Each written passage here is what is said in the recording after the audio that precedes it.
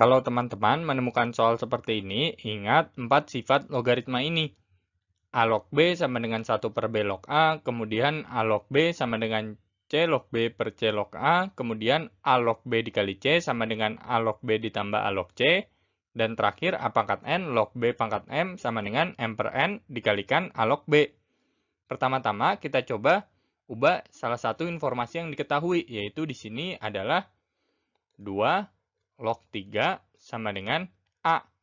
Kita gunakan sifat yang pertama ini, sehingga kita dapatkan 1 per 3 log 2 itu sama dengan A.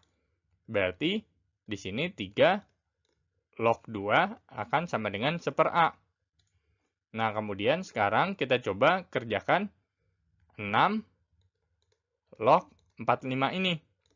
Dengan menggunakan sifat yang kedua, kita bisa ubah menjadi, di sini kakak mau ambil basisnya 3. Berarti jadi 3 log 45 dibagi 3 log 6. 3 log 45 itu bisa kita pecah dengan menggunakan sifat yang kedua ini menjadi 3 log 9 ditambah 3 log 5.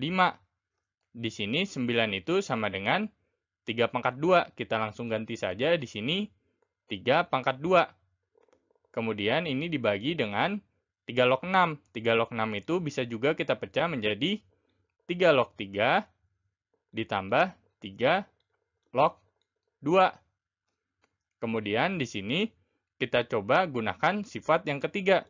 Sehingga kita bisa mendapatkan 2 dikalikan 3 log 3 ditambah 3 log 5 dibagi dengan 3 log 3 ditambah 3 log 2.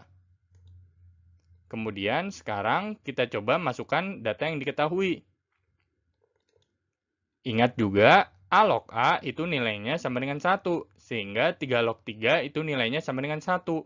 Berarti di sini 2 dikalikan 1. Kemudian ditambah dengan 3 log 5 yaitu B. Dibagi 3 log 3 itu 1. Ditambah 3 log 2 seperti yang sudah kita cari di sini adalah sama dengan 1 per A. Berarti seperti ini.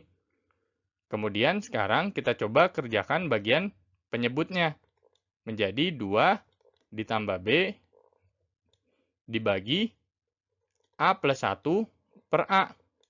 Ini sama saja dengan A dikalikan B plus 2 dibagi A plus 1, yaitu pilihan jawaban C. Sampai jumpa di pertanyaan berikutnya.